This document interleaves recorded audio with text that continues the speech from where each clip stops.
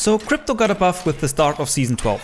One of the changes was the addition of a lot more info into the drone UI, like your own health, a kill feed and the minimap.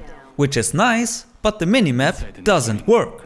It always shows the exact same spot, the map origin, no matter where you are on the map. And if you have minimap rotation turned on and then use the drone, all overlay icons rotate, while the minimap itself doesn't, with some of the icons even disappearing completely.